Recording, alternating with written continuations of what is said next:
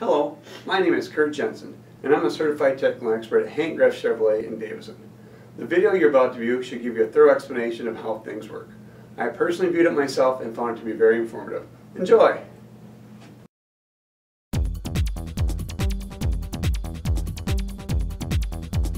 Impala models equipped with a 2.5-liter four-cylinder engine include an auto stop start system, which automatically shuts the engine off when the vehicle is stopped briefly, such as at a stoplight.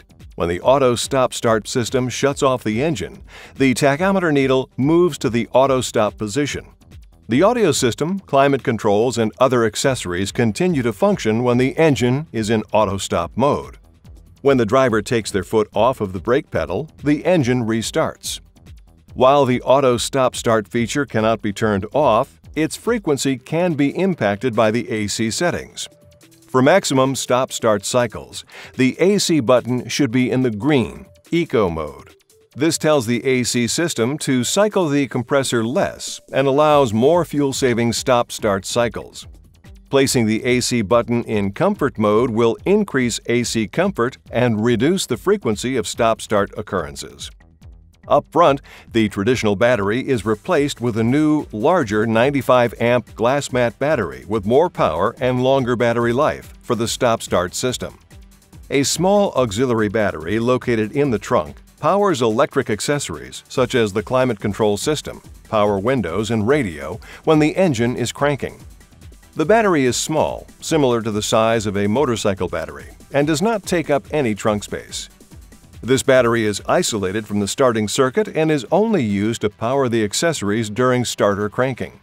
Upon an auto restart, the system switches auxiliary power to the smaller battery and utilizes the glass mat battery as the sole power to the starter. This ensures there is no diminished accessory function when the engine automatically restarts. There are some situations in which the Auto Stop Start feature will keep the engine running. These include the engine or the transmission are not at the required operating temperature.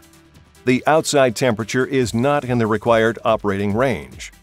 The shift lever is in any other gear than drive. The battery state of charge is low. The interior comfort level has not reached the level of the climate control settings. Or the auto stop time is greater than 2 minutes. In addition, if the engine is in auto stop mode, shifting the vehicle into park will automatically restart the engine to remind the driver that the engine is in auto stop start mode and not turned off. I hope that video presentation is you confident on how to operate your personal car technology. If you have any questions, please contact me by phone, email, or at my website, www.graffguru.com. Thanks again for watching and have a great day.